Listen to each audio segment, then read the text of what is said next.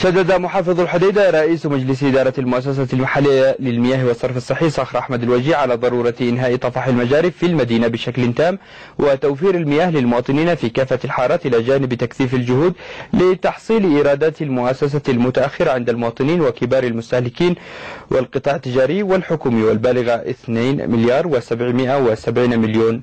ريال حتى ما يجاء ذلك في اجتماعه الأول بمسؤولية المؤسسة المحلية للمياه والصرف الصحي الذي عقد اليوم لمناقشة أوضاع المؤسسة والتحديات التي تواجهها. المحافظ الوجيه طالب في الاجتماع قيادة المؤسسة بتزويده بتقارير مفصلة عن المشاريع المتعثرة والمناقصات المتوقفة من قبل اللجنة العليا للمناقصات. التي وافقت عليها والخاصة بمجاري الحديدة والبالغة 12 مناقصة إلى جانب تقرير بعدد القوى العاملة بالمؤسسة ومدراء الإدارات والأقسام.